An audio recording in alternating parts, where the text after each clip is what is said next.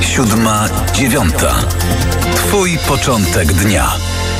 I ostatnim gościem e, dzisiaj, poranka 7.9, jest dyrektor Zamku Królewskiego w Warszawie, profesor Wojciech Fałkowski. Dzień dobry. Dzień dobry. Panie dyrektorze, dzisiaj przypada Międzynarodowy Dzień Ochrony Zabytków. Czy pan ze swojego doświadczenia może przyznać, że w Polsce należycie dba się o zabytki? E, tak, mi się wydaje, że bardzo wiele się na dobre zmieniło w ostatnich latach ponieważ po okresie PRL-u, kiedy te zabytki no, niszczały, a czasami nawet były wykorzystywane i tam urządzano mm, przedszkola czy szkoły, e, ale były mm, zaniedbane i zwłaszcza w okresie lat 90 końcówki PRL-u już w stanie wojennym i po stanie wojennym, a później w latach 90. już po, po odzyskaniu naszej suwerenności i niepodległości, to te zabytki, mówię tutaj o nieruchomościach, one niszczały, były one źle użytkowane. I teraz bardzo wyraźnie od mniej więcej kilku lat jest przecież program, który dofinansowuje to, kilka programów nawet więc tu wyraźna jest zmiana na lepsze. Ochrona to jedno, a czy Polacy znają swoje zabytki? Czy, czy mają wiedzę o tym, e, o tym, co jaki budynek oznacza, jaką pełnił funkcję dany budynek, szczególnie w swoich miastach? Y, znowu odpowiedź nie może być jednoznaczna. To znaczy, myślę, że jest y, lepiej niż nam się czasami zdaje. To, y, ta znajomość historii lokalnej, tej małej ojczyzny, y, docenienie posiadania w swojej okolicy czegoś, co przetrwało pokolenia, a nawet czasami stulecia, jest, wydaje mi się, stosunkowo wysoka. Natomiast oczywiście no, mogłoby być to znaczy, mm, myślę tutaj nie wiedzy. Tu wiedza, znajomość faktów jest y, w moim przekonaniu drugorzędna. Też ważna, też potrzebna, ale nie jest pierwszoplanowa. Y, to, co wydaje mi się naprawdę znaczące, to jest y, utożsamianie się z okolicą, z miejscem swojego mieszkania czy urodzenia, tam, gdzie było gniazdo rodzinne. I mm, ta więź, taka i emocjonalna, i właśnie oparta na wiedzy, i na takim przyzwyczajeniu, w dobrym znaczeniu tego słowa, przyzwyczajenie jest taką siłą naprawdę mm, ważną i potrzebną. Otóż to wszystko to mogłoby być znacznie większe, y, w większym stopniu widoczne, no ale to jest również efekt naszej historii. Myśmy byli przesuwani, przerzucani, prawda, i w czasie wojny, i wcześniej podczas zaborów tu były i różnego rodzaju wysiedlenia, i represje, i zsyłki. No i teraz w PRL-u ten ruch migracyjny wewnątrz kraju był bardzo duży, więc to się musi troszeczkę ułożyć, e, ustabilizować, a na to potrzebny jest czas i to czas liczony w dziesięcioleciach, a nie w, zwykłych latach. Takie taką rolę edukacyjną, e, jeżeli chodzi o kultywowanie pamięci naszej, naszej, naszej historii, są różnego rodzaju e, galerie, różnego rodzaju wystawy, też na przykład Zamek Królewski. Z tego co czytam, to w 2022 roku Zamek Królewski w Warszawie odwiedziło rekordowe e, prawie milion osiemset tysięcy osób, więc widać, że ludzie e, są ciekawi historii, są ciekawi swoich zabytków. Tak, jesteśmy z tego bardzo dumni i bardzo się cieszymy. E, to jest wielka rzecz. Dla nas to jest potwierdzenie atrakcyjności zamku jako muzeum i jako znaku pamięci, znaku historycznego. E, I jednocześnie zamek jest symbolem, symbolem polskiej historii, polskiej chwały e, i takim znakiem polskości. I co więcej, on jest czytelny również dla ludzi z zagranicy, naszych gości, którzy przyjeżdżają z innych krajów ta przestrzeń wewnątrz zamku i mm, w apartamentach i w galerii arcydzieł i również w naszych ogrodach to ta przestrzeń bardzo silnie oddziaływuje z jednej strony. Z drugiej strony zamek ma taką swoją legendę y, siedziby królów, siedziby y, polskiego parlamentu, bo to jest fenomen na skalę y, światową. Siedziba króla, rezydencja monarsza, która jednocześnie była miejscem spotkań i obrad organów przedstawicielskich, Sejmu i Senatu. To takich rzeczy na świecie nie znają. No a trzecia rzecz, która jest bardzo wyraźnie widoczna, to mm, ten ostatnie, ostatni okres istnienia zamku ze zniszczeniem i odbudową, odbudową, która była mobilizacją całego narodu. To były dziesiątki milionów ludzi w kraju i za granicą, którzy mm, w porywie i decyzji odbudowy mm, stwierdzili, że wbrew władzy bo władza udzieliła zgody na odbudowę warunkowo, że będzie to wysiłkiem e, społeczeństwa.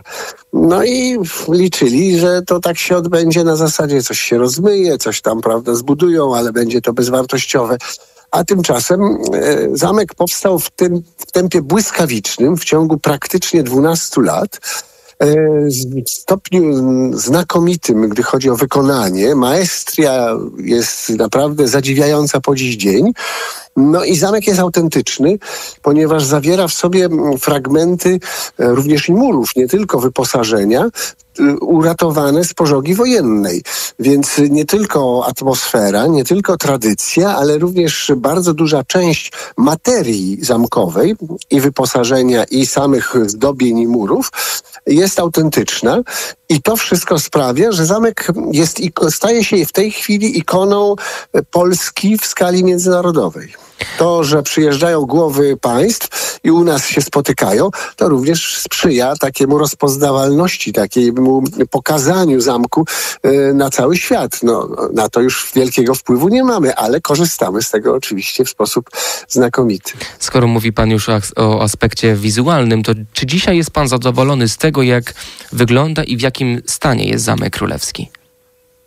Nie tylko jestem zadowolony, ale wręcz jestem dumny ale to nas nie zwalnia z obowiązku, myślę tu i o sobie, i o moich współpracownikach, żeby to udoskonalać, wzbogacać i mm, rozszerzać. Nasza kolekcja zabytków się stale powiększa. Y, kupujemy to praktycznie na całym świecie. Ostatnio przyszedł obraz, y, który będzie eksponowany w Pałacu pod Blachą, czyli w rezydencji księcia Józefa Poniatowskiego jest może najmniej znana. I ten obraz został zakupiony w Nowym Jorku. E, z kolei mm, e, srebra, które pokazujemy w tej chwili na wystawie czasowej naszych nabytków, zostały kupione w Monachium. Więc zamek ma w tej chwili bardzo dobry przegląd rynku antykwarycznego na świecie rzeczywiście śledzimy to, e, patrzymy, sprawdzamy, no i później twardo negocjujemy ceny, bo już poszła, że tak powiem, taka wiadomość po świecie, że zamek jest dobrym kupcem, ale bardzo twardym negocjatorem. I absolutnie nie zgadzamy się na cenę of ofertową i absolutnie nie zgadzamy się na ceny lekko tylko obniżone. E, twardo mówimy, negocjujemy i w razie czego no, potrafimy przetrzymać takiego oferenta przez długie miesiące i z reguły to nam się wszystko dobrze udaje.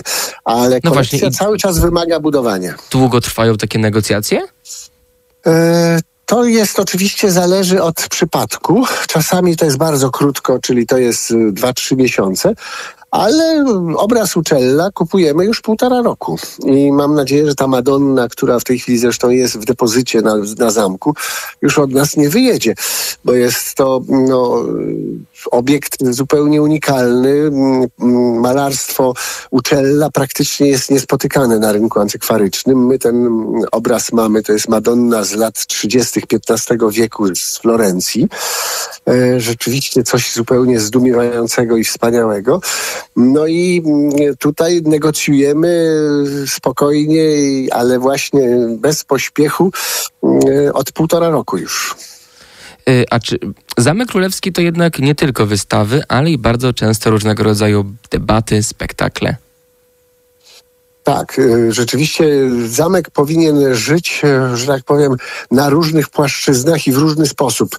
E, I koncerty muzyki poważnej y, są u nas czymś zupełnie zwyczajnym, bardzo często spotykanym. Sala balowa jest miejscem, gdzie melomani się spotykają nie tylko na mm, koncertach muzyki barokowej z XVII wieku, z Monteverdim na czele, czy Vivaldim, ale również i tej muzyki klasycznej tego okresu, prawda, beethovenowskiego, czy nieco wcześniej mozartowskiego. Zamek rzeczywiście mm, to jest w tej chwili miejsce, które w, w sensie kultury mm, wysokiej jest y, bardzo wykorzystywane i bardzo się z tego cieszą.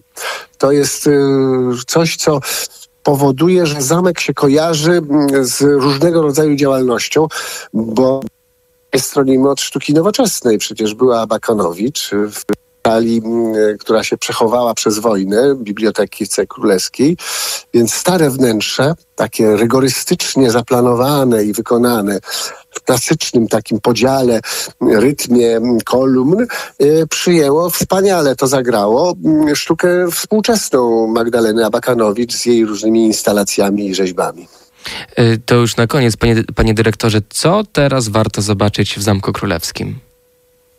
E, bardzo zapraszam na, do obejrzenia właśnie wystawy naszych nabytków. Ona jest dostępna za darmo. Nie trzeba kupować biletu, trzeba wziąć tylko wejściówkę w kasie, odebrać, ale nie trzeba nic płacić. E, to są wybrane niektóre nasze nabytki z ostatnich dwóch lat. Mm, więc pełna różnorodność i srebro, i porcelana, i meble, i obrazy, e, zbroje również XVI-wieczne. Więc to mm, jest jedna wystawa. Niestety już się skończyła wystawa w tą niedzielę, mm, odbyła się, zakończyła się wystawowego, ale już w poniedziałek, najbliższy, za kilka dni, otwieramy wystawę związaną z rocznicą urodzin e, Mikołaja Kopernika wystawa, która przypomni, czy pokaże jego sylwetkę i jego dorobek, ale również pokaże ten krąg intelektualny, w którym się obracał, więc Akademię Krakowską, e, studia w Padwie, kontakty mm, europejskie. Bardzo ciekawa wystawa, świetnie mm, pokazująca e, zarówno ten intelektualny otoczenie, ten krąg intelektualny Kopernika, jak i jego właśnie laboratorium, jego pracownię astronomiczną. E, I to już od mm, poniedziałku 24 można mm, oglądać będzie do końca lipca, więc serdecznie zapraszam i to rzeczywiście będzie wydarzenie. Ja już oglądałem montaż tej wystawy, więc dokładnie wiem o czym mówię. No to nic, tylko w jakiś fajny, słoneczny weekend przejść się po warszawskiej Starówce i przy okazji jeszcze zajść do Zamku Królewskiego. Dyrektor Zamku Królewskiego w Warszawie, profesor Wojciech Fałkowski, był moim gościem. Dziękuję za rozmowę. Dziękuję uprzejmie. Siódma, dziewiąta. Poranek rozgłośni katolickich.